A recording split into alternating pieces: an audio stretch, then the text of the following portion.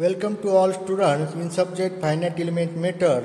Today we discuss about elastic bar. Elastic bar, comma, spar, link, truss elements. A generally applicable yet similar element is an elastic bar subjected to axial forces only.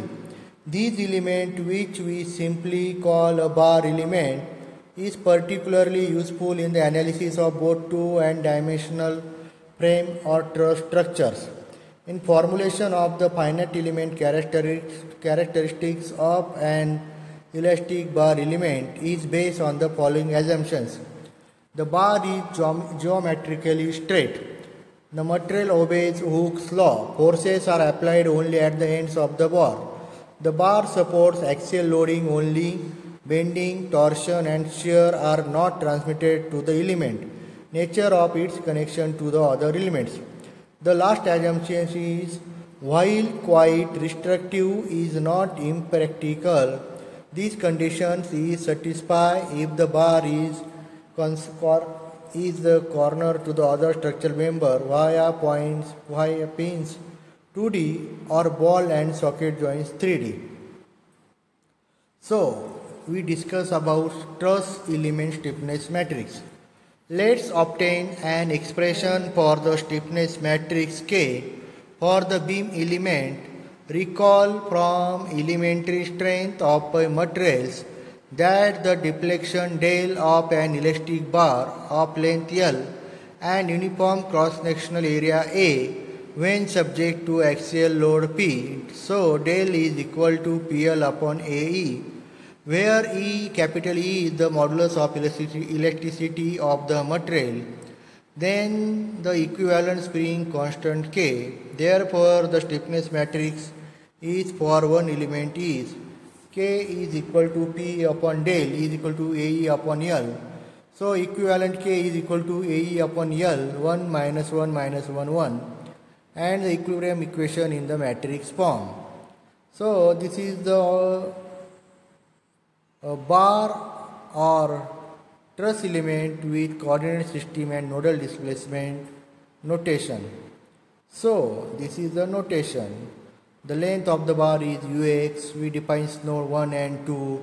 Displacement is equal to u1 is equal to u, u2 is equal to x. We have a field variable like ux which can be expressed in terms of two nodal variables like u1 and u2. So discretize we assume the existence of interpolation functions n.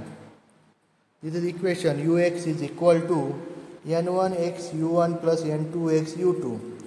To determine the interpolation function, we require that the boundary values of ux, the nodal displacement identically satisfied by the discretization such that u in bracket x is equal to 0 that is equal to u1, u in bracket x is equal to l that is equal to u2, n1 0 equal to 1, n2 0 equal to 0, n1 l equal to 0, n2 l is equal to 1.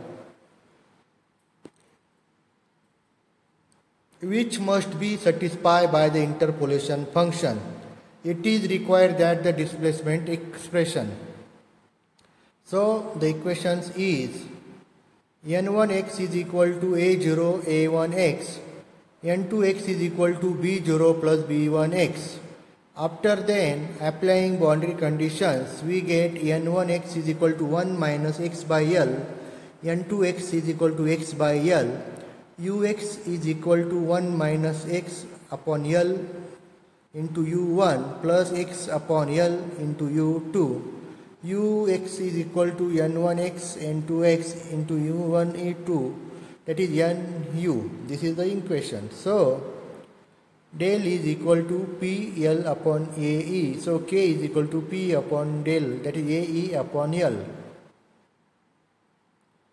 So epsilon in so, in uni, uniaxial loading, as in the bar element, we need consider only the normal strain component defined as epsilon x is equal to du by dx, epsilon x is equal to